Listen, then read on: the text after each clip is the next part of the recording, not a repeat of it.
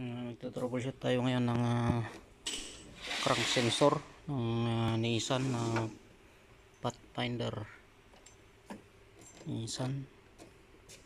Oo. sundan natin sinundan natin yung wire nya ah, papunta doon. Sa may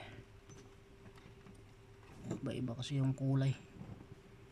Natin alam kung saan yung karugtong o sundan natin. Ah, sinundan ko rito.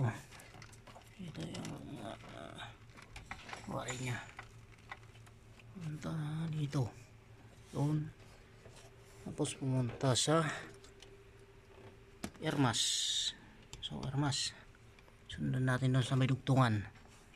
Yun may dugtungan dalawang rin na naman. O, doon sa pumunta doon doon sa may crank sensor yung isa. Tapos yung isang pula.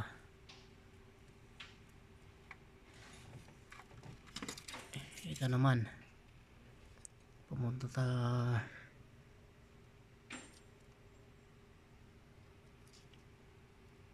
camshaft sensor na ito eh. Yan sa likod. Tapos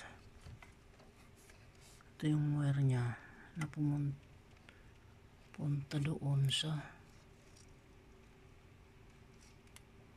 body control.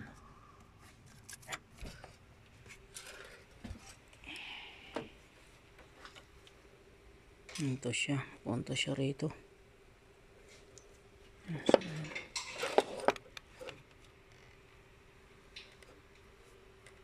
Body control module o ito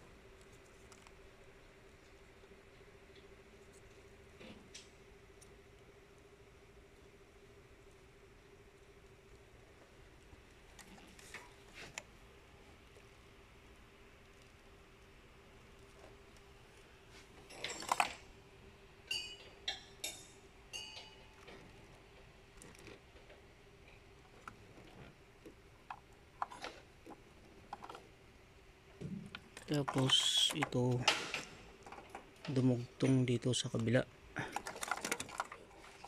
Ito may sakit dito.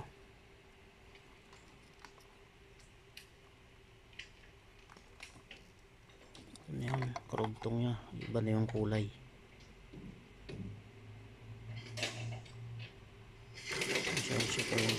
Ito at saka ito magkarugtong tapos sundan natin. So pumunta na dito. Ay ito ito.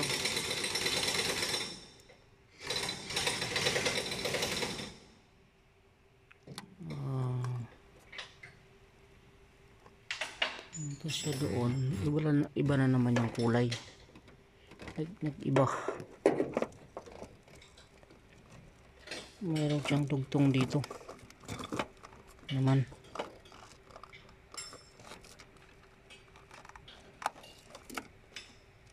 yun. Dugsong sa doon. Oh, pula na naman ito. Anong mahirap pag color coding? Sa ganitong sasakyan ha? Ito yung pink.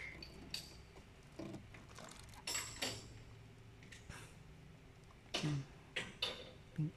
May halong tape din ito may dug, may dugtungan dito tapos ito ito na. Pink na yung lumabas dito. Pink saka ito magkarugtong. Yan magkarugtong yan. Dalawa na yan. So patutunayan natin magkarugtong. Gamit tayo ng uh, Tesla tester.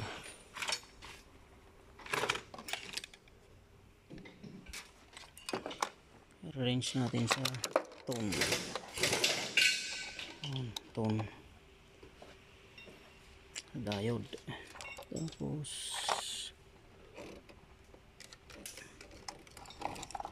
tusok natin dito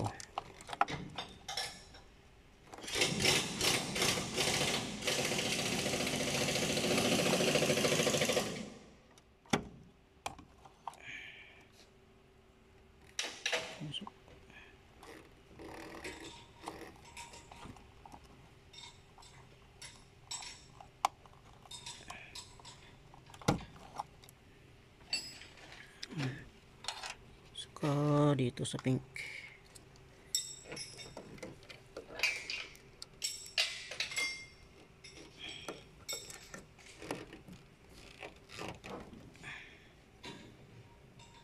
Yung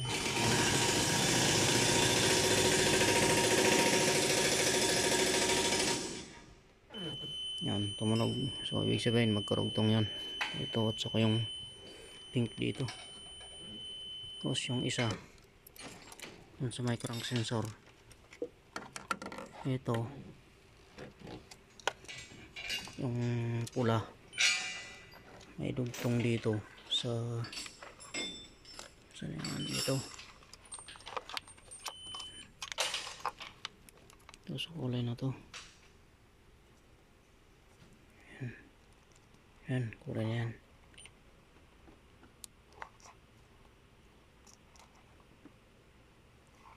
Sky blue. Tapos, punta rito. Tanggalin natin yung ano, sakit.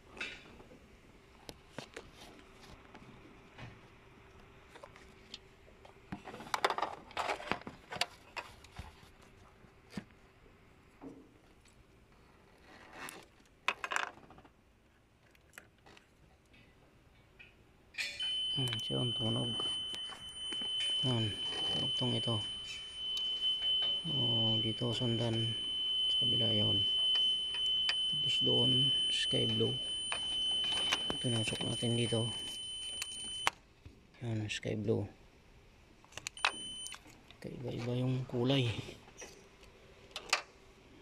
Ah, mas ma inam na buksan yung harness kasi yung dalawa ito kanina ang tinitrace up ko nagso-short dalawa ito. Yung ito yung kulay brown saka yung red. Short sila. Ito tingnan natin kung short pa.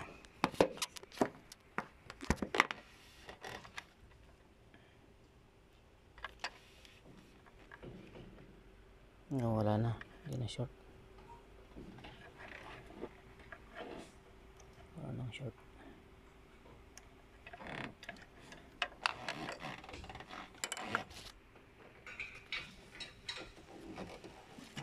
Ah, dito sa may body control module. Dito rin natin susundan. So dito yung relay yung ah, may relay pa siya. Itong ah, papunta sa crank sensor. Ito may relay pa. So trace din natin ito.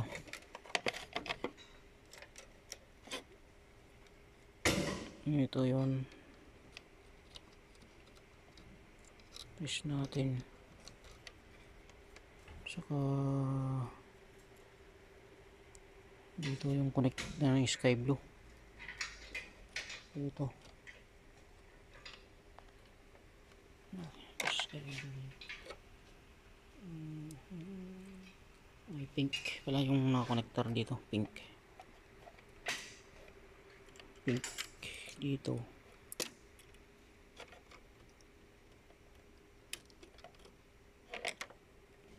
Tapos dito yung karugtong sa may relay yan tapos ito pinagsama na nila ito. Yung dalawa na to. Pinagsama na. Tapos ito iba. Yung brown na wire na naman to. So trace natin ito. Papunta sa fuse. Hello sir. Fuse. Dito yan fuse. Yan. Goes